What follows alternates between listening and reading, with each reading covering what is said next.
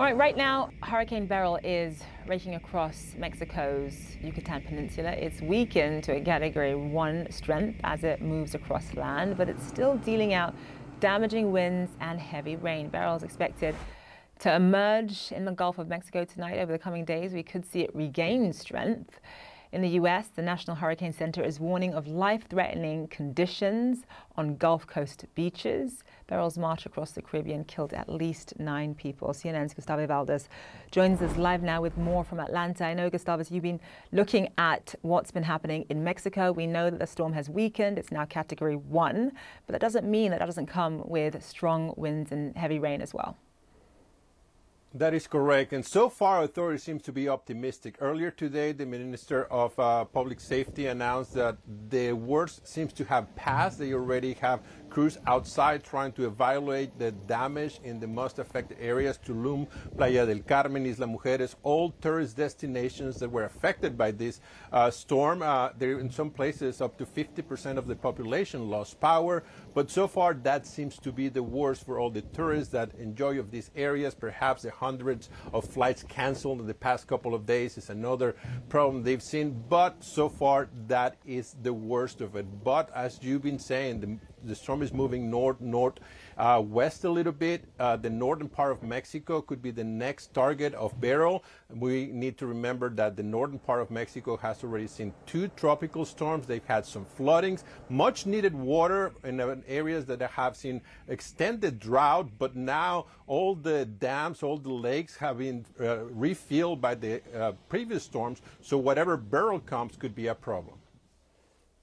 All right, Gustavo Valdes, live for us there. Thank you so much. Right, let's bring in CNN meteorologist Elisa Raffa, tracking the storm also from Atlanta as well. Gustavo talked about what was happening around the Yucatan Peninsula, but he did mention that it's heading to the northern part of Mexico and then eventually Texas. Take us through it.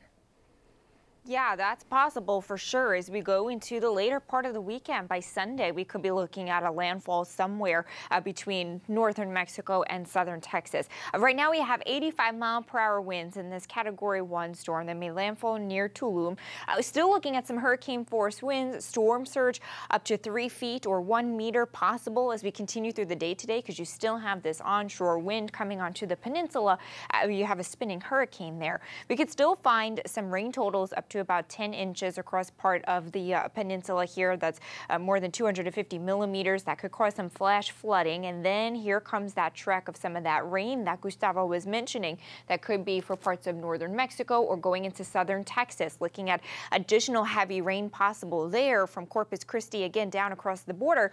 Four to six inches, uh, more than 150 millimeters of rain again could cause some flooding concerns. So we get back into the Gulf of Mexico on the overnight tonight over very warm waters. So that's where things can reorganize a little bit before they head to that Texas-Mexico coastline uh, by Sunday, Sunday night, Monday morning. We've been talking about really warm waters with this storm the entire way. It's why Beryl has been able to intensify multiple times. And we're looking at that again as we go into the weekend before it makes that, you know, Mexico-U.S. landfall uh, here. We've been watching this dome of high pressure pretty closely. As this weekends and moves to the east, that's what's creating this turn to the north, this turn towards northern uh, Mexico and going into Texas as we go into the weekend. So it's something that we're eyeing very closely uh, with this forecast here.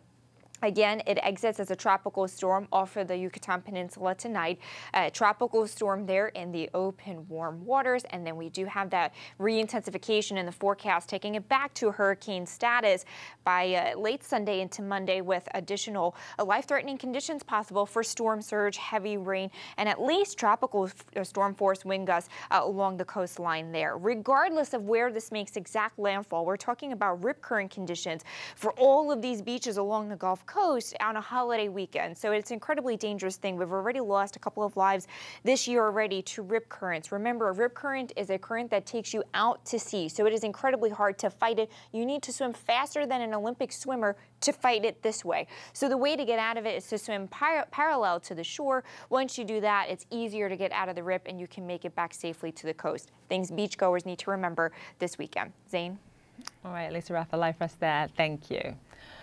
And CNN has gathered a list of vetted organizations that are on the ground helping victims of Hurricane Beryl. You can find details on how you can help at a special section of our website. You can go to cnn.com slash impact, cnn.com slash impact.